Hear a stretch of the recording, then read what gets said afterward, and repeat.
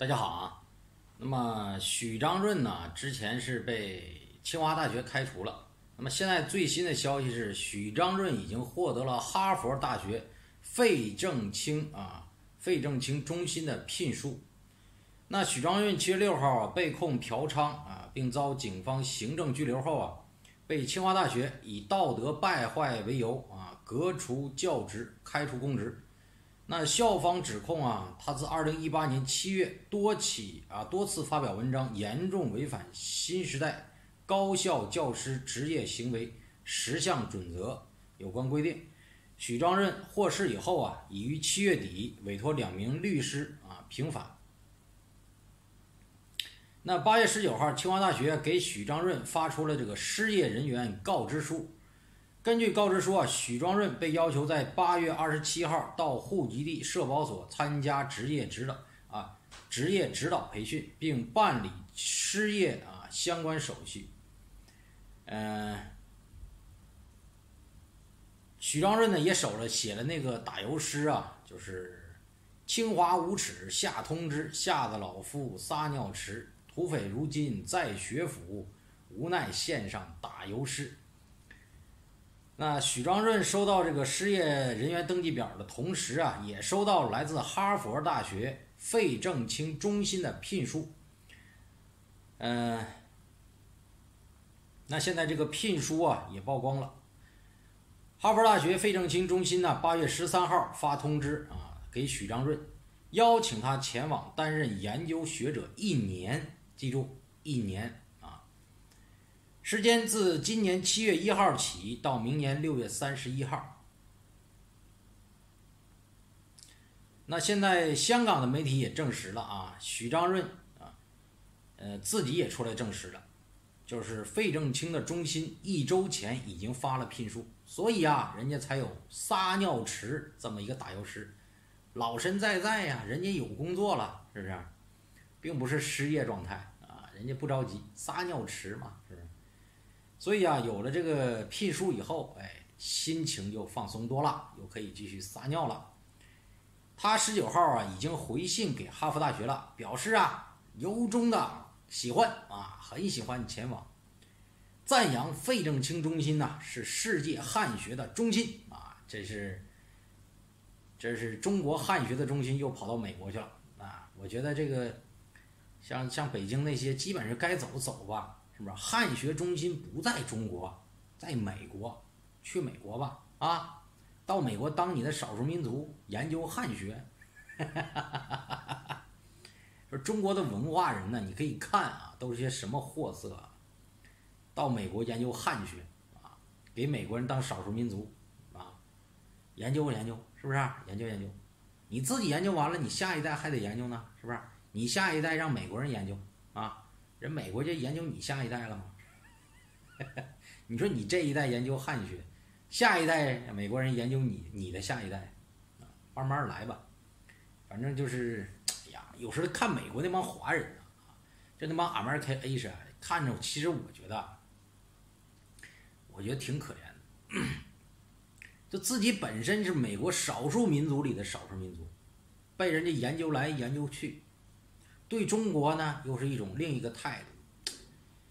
现在这个国内的像清华、北大这些啊，也都是啊，自己说嘛，汉学中心在什么，在海外啊，在美国。是啊，当然在美国了。你们都是中心，你们以自我为中心，你觉得你就是汉学的中心了，那你就去吧。啊，汉学中心以前啊，很多中心。俄罗斯还说人家那有个汉学中心呢，人家那也是中心，对吧？瑞典也说自己是汉学中心，争来争去吧，反正你到哪儿哪儿就是中心，是不是？你们觉得自己是 number one，是不是？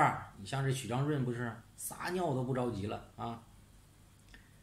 哎呀，有时候看中国这些文人呐，你可以看看这一个个嘴脸啊，一个个嘴脸，就根本没有古代文人的那种那个骨气。这洋人给下个通知，马上屁颠儿屁颠儿的啊，那一下子又又又高兴了。就中国的文人什么时候这样能能像这个我说这个索尔仁尼琴啊？我说俄罗斯啊有索尔仁尼琴，同样是被苏共打压，到了美国也没有像什么这个，像你看像这个许章润这样的屁颠儿屁颠儿那个高兴。我估计到了美国呀，这许章润马上开始反攻反共，然后就反华，就中国人什么时候死绝了，他们才高兴。就是有时候你会觉得中国这个文人呐，一一根奴才相，并没有什么高尚的情操。就他妈谁给我钱，谁让我随便说，谁他妈把我当中心，我他妈就听谁的。这他妈不是啥嘛？这这简直就是，有奶便是娘啊！这哪是文人？真的，我我对海外那些中国人呐，海外那些什么什么，哎呀，学者啊，我鄙视，鄙视。索尔仁尼琴也是俄罗斯啊，是不是？人家也是俄罗斯人。也是被苏共打压，你说在苏联让人监视着也是啊，干啥都不行。美国人说来来我们美国是不是？我啥都给你，给你教授，给你钱，给你房子，给你女人，啥都给。但是索尔仁尼琴他一直说是我是俄罗斯人，他在美国也批评美国。他也没有像一个奴才一样到那就给人舔呢。你看看现在跑出跑跑到美国那些中国原来那帮人，在中国舔中国，啊舔中国这些老大，舔的不高兴了，换一波了，一下子不行了，哎呀我就开始骂，骂完了跑到国外，跑到国外呢舔外国老大，开始挖自己祖坟，就有时候吧，你会发现中国这些文人呐，真的。你要说他们有什么骨气没有？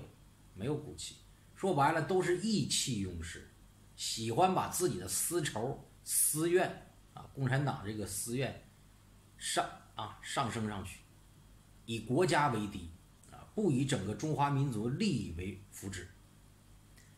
哎呀，所以这就是中国汉奸多呀，真的，你从这个文人上你可以看出这些文人啊。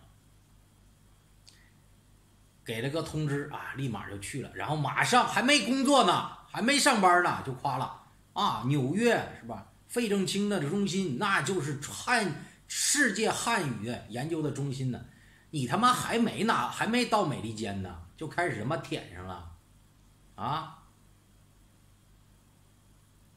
这许章润真的，我他妈现在对清华、这北大这帮人，我真他妈是是，真的是让我开了眼界了。你再加上什么党校那个，人家他妈是到了美国，准备在美国安家了，人家舔一舔，你他妈这还没出国呢，就开始舔上了啊！美国那费正清那是啥？那是世界汉语研究的中心了，汉学中心了。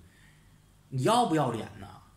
那怎么的？北大、清华再给你点钱，你他妈又说啊，我要变了，改回中国式中心了？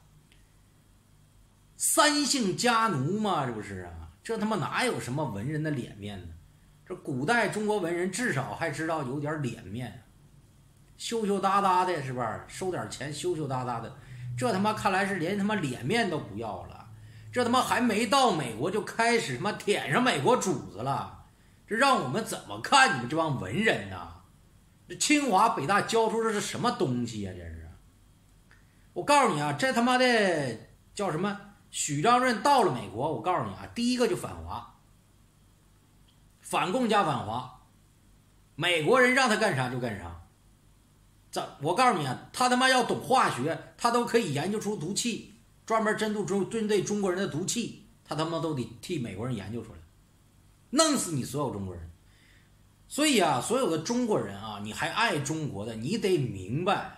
不是所有的啊文化人到了美国，你都是把人当成文化人啊，给人家面子，是不是？觉得人家了不起？不是那样的。文化人里边也有糟粕，也有像这儿三姓家奴的。